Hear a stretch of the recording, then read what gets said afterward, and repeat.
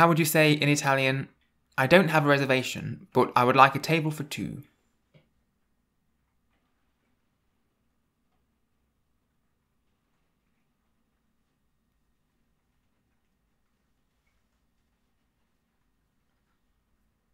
Non ho una prenotazione, ma vorrei un tavolo per due. Non ho una prenotazione, ma vorrei un tavolo per due. I haven't tried the pizza.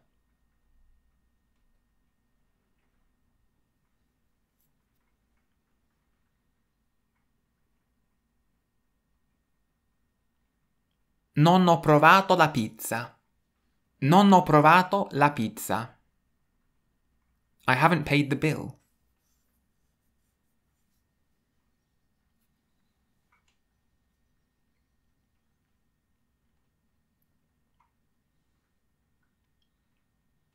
Non ho pagato il conto. Non ho pagato il conto. And again, this can mean I haven't paid the bill, or in English we also say I didn't pay the bill. So non ho pagato can mean I haven't paid or I didn't pay. How would you say I haven't eaten a lot today?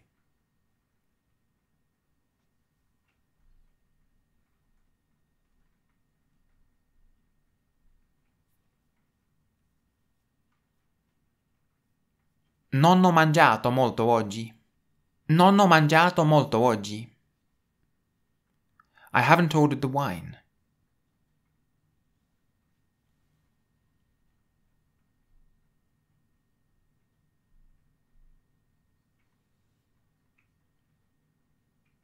Non ho ordinato il vino. Non ho ordinato il vino. And again, this can mean I haven't ordered or I didn't order. So I didn't order the wine would also be non ho ordinato il vino. I haven't booked a table.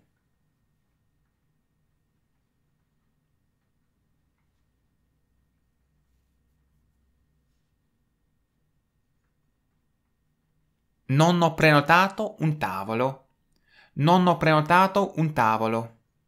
And don't forget that prenotato can mean booked or reserved. So this could be I haven't booked a table or I haven't reserved a table. And again, it could also be I didn't book a table or I didn't reserve a table. Non ho prenotato un tavolo. So even though there are lots of different ways to say the same thing in English, in Italian there's just the one. Non ho prenotato un tavolo. How would you say, I ordered the wine, but I haven't ordered the food?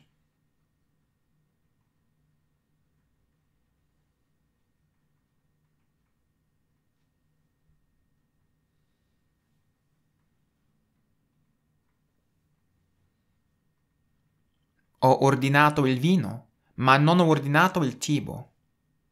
Ho ordinato il vino, ma non ho ordinato il cibo.